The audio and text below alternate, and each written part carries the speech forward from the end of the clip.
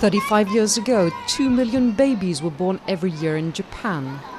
Today, this figure has dropped by half. Fertility rates have declined to 1.37 children per woman. If this trend continues, the country's population, now standing at 127 million, could fall below 100 million by 2050. It costs a lot to have babies, and there are long waiting lists to secure a place at kindergartens or primary schools. It all makes it very difficult to have children.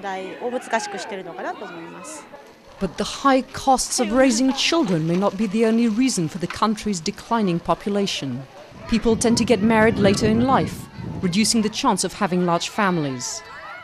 And having children outside of marriage is still largely taboo. The main demographic reason for the low birth rate is the postponement of uh, marriage.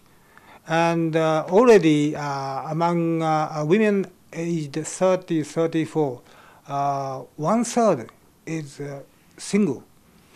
And they are very difficult to find partners, you know, up to 40s. Prime Minister Yukio Hatoyama and his Democratic Party are ready to roll out a wide range of family friendly policies. They have pledged to increase benefits for all newborn babies. And the new government has promised to make public schools completely free and to give all families almost $300 per month for each school aged child.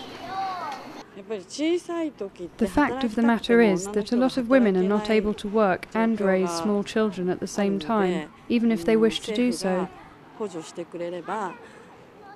If authorities gave them more help, I think many more women would consider having children. At present, 70% of women end up resigning from their jobs when they have a child. And a few years down the line, the vast majority decide to stay at home, while those who go back to work often end up in part time jobs.